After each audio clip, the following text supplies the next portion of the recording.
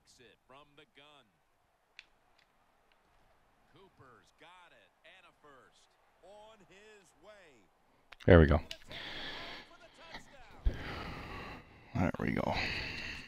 After a terrible start to this game, and now moving on to the second quarter and trying to shift control of things. Yeah, early in the second quarter, and it was a awful start. Yeah, so Green's played You couldn't play good so far, but as a only had a few. but Kobe, oh, yeah. That is—that's Kobe play for sure.